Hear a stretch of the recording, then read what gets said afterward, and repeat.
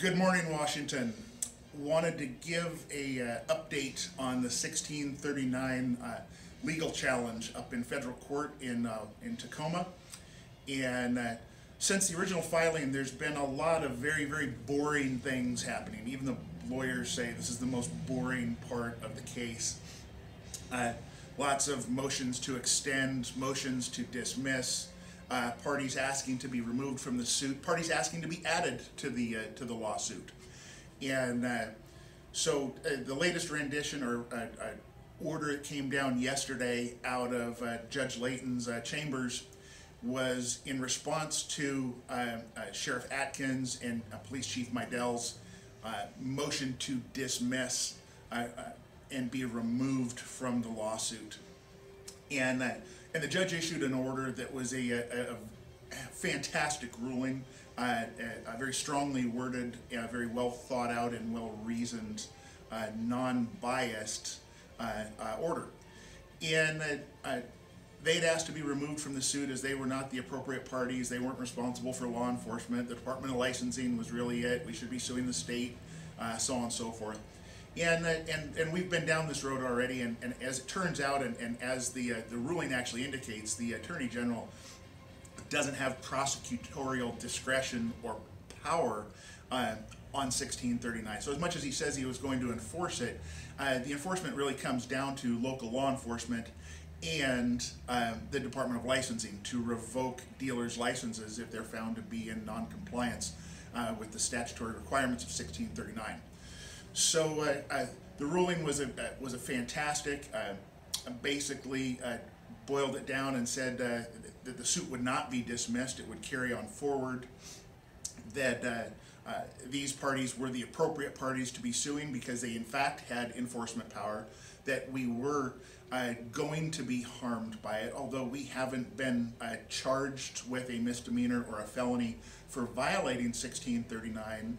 Um, the, uh, uh, there is a compelling reason to believe that we would be. There's a concrete plan uh, per the uh, order that, uh, that we could be prosecuted uh, if we violated any of those conditions of 1639.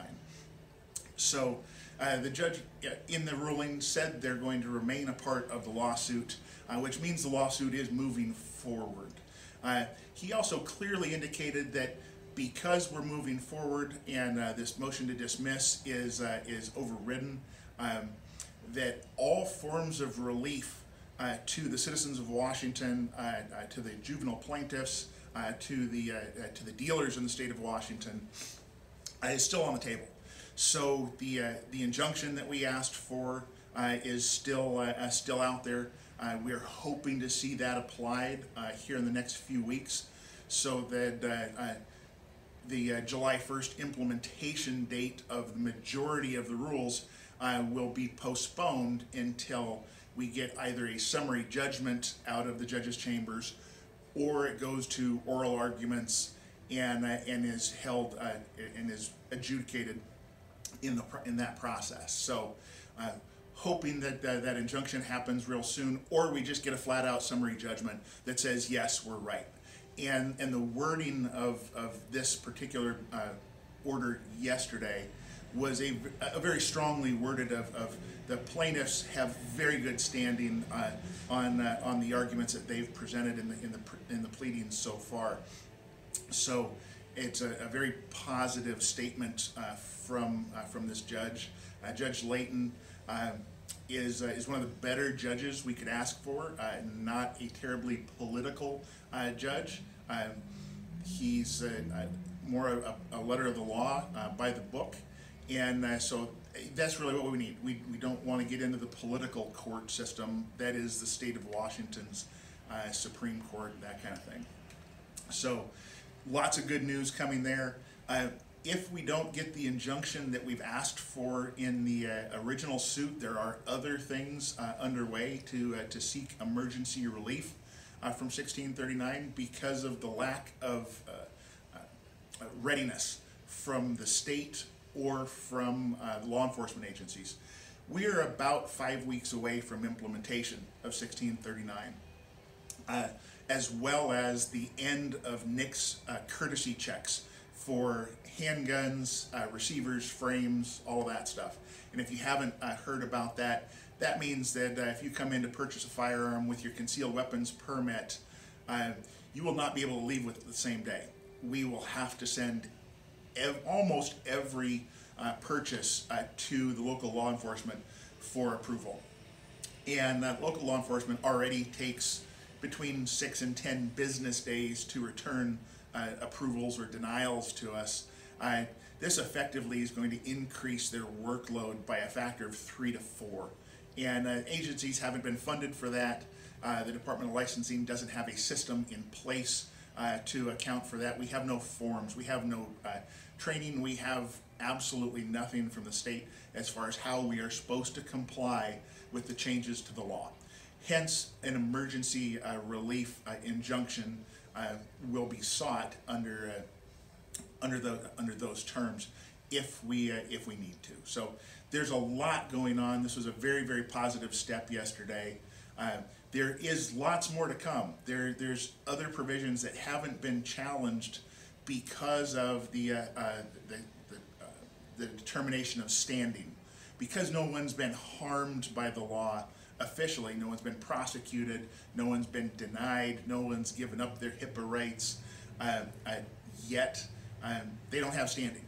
The judge yesterday actually said that uh, we don't have to be harmed. The const- challenging the constitutionality of the law itself, uh, we have standing to do that uh, right now. We don't have to be harmed by it first. We are challenging the constitutionality. We're not challenging necessarily the penalty that's being applied uh, to us as a dealer, as an individual. So uh, this was a very, very good, strong statement out of the court uh, that, that, that leans in our direction.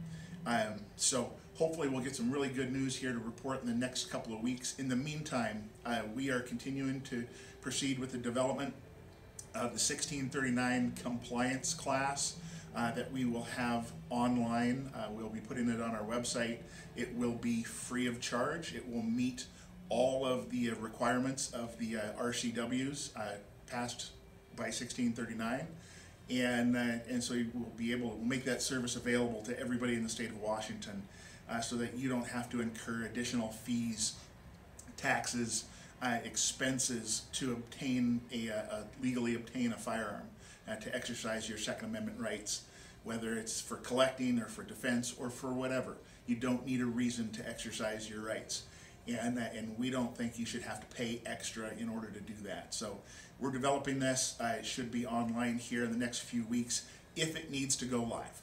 If it doesn't need to go live, we won't push it out there until such time that it does. So here's to hoping that the uh, uh, the injunction is is issued and and this uh, the brakes are put on this thing uh, while it's adjudicated through the court process and uh, now is the time to get active with your legislators. The legislature uh, legislature is is adjourned right now. So all of those folks are back home. They maybe they're on vacation or back into their regular jobs. But this is a great opportunity to, to catch them when they're back in their districts go visit them, email them, tell them you disagree uh, with the current push within the state legislature for additional gun control. Not criminal control, but uh, control of law abiding citizens. Um, write letters to your editor, write letters to your uh, legislators, uh, take your friends out, get them out on the range, show them, uh, introduce new, new shooters to safe uh, recreational shooting sports. Um, Go out, support your, uh, your local gun shops that are supporting the efforts to defeat this.